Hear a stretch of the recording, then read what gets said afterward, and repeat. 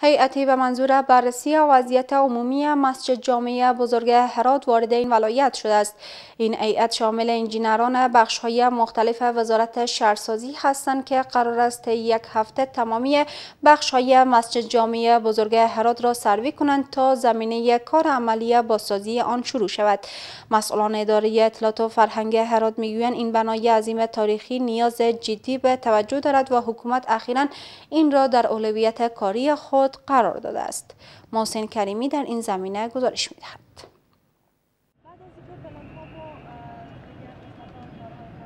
بیش از 800 سال از عمر این بنای بزرگ تاریخی میگذرد. طی این سالها های مختلف این آبده خسارات جدی را دیده است. آنگونه که مسئولان اداره اطلاعات فرهنگ هرات می‌گویند این بنای تاریخی از لحاظ استحکامات، تزئینات و ساختار دچار مشکلات جدی شده است. اما حالا حکومت تصمیم گرفته است تا با استفاده از بودجه انکشافی به شمول مسجد جامع بزرگ هرات 13 بنای عظیم تاریخی دیگر را در سر تا سر کشور زیر پوشش بگیرند. هیئت به منظور سروی این آبده بزرگ تاریخی وارد هرات شده است. ما کارهای خود شروع کردیم و فعلا کارا با جدیت جریان داره که یک بررسی مقدماتی است و این پروژه من هست یک پروژه در طویل المدت در وزارت شهرسازی است که از جمله 14 پروژه که قبلا ما یاد کردم به نام حفظ جاودات تاریخی یک از پروژه اساسی و مهم ازی پروژه مسجد جامع هرات است.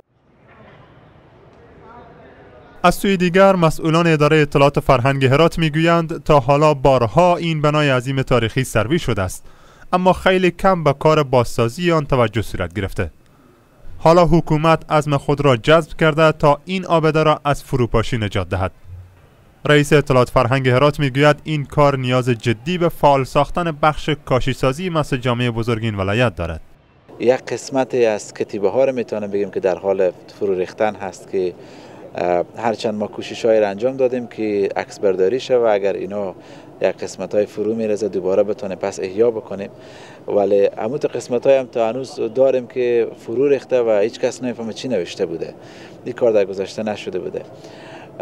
بیشتر قسمت های کاشی ها نیاز به ترمیم داره.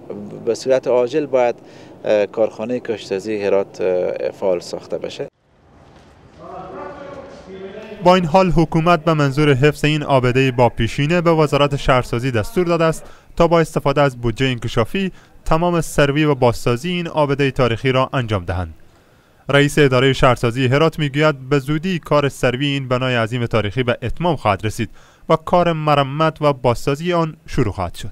علاوه بر ترمیم خود موضوع حفظ مسجد جامع شریف توسعه اطراف مسجد جامع شریف ایجاد سهولت های مثل موضوعات پارکینگ سیستم های تهویه و مسائل تکنیکی دیگه است شامل از همچنان در این پروژه موضوع احیای کارخانه کشیسازی هم سر از صحبت شده و شامل از این برنامه انشاءالله میشه.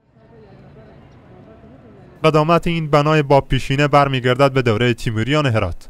زمانی که معماران اصیل هراتی با هنر دستشان تمام زرافتکاری های این آبده را انجام دادند. اما طی سالیان متمادی این بنای عظیم تاریخی آسیب های جدی را دیده است. حالا دیده شود که حکومت چه زمان کار عملی بازسازی این مسجد را شروع می کند